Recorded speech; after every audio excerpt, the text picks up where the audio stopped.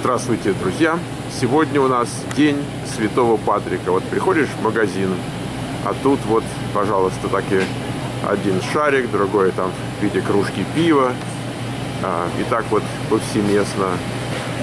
А мы здесь не, не для этого. Мы встретим День Святого Патрика вкусным обедом.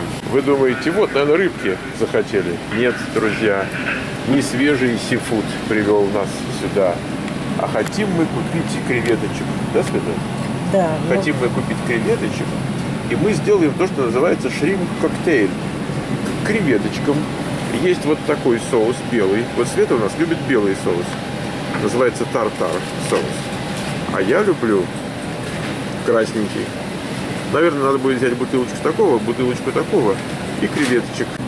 Самое трудное, друзья, Я это пока не начал кушать, сказать, сколько же я готов съесть за один раз. Вот это сложный вот вопрос. смотри, тут три, три вида шримпов на Так. минуточку, да? Давай, чем отличаются Эти шримпы? самые большие, и они редко лежат. Вот эти Вот эти чуть поменьше, но они более часто. А вот эти совсем поменьше. совсем маленькие. Ты знаешь, я бы взяла Подожди, таких а, средних. а может быть мы их по весу сравним, Света? Нет, дело не в весе. Дело Так. в том, что у них разная цена за паунд.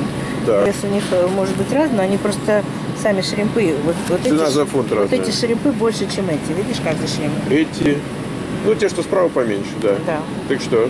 Ну, давай возьмем вот этих средних, не маленьких, не больших, а средних. Так. Да? Друзья, это такой принцип. Никогда не берешь самое большое и самое маленькое, а берешь посерединке. Хотя иногда хочется самого большого. Все, одну взяли большие, две маленькие. Все. Смысле, две средние. Я это чисто теоретически сказал. А ну, Не как руководство к действию.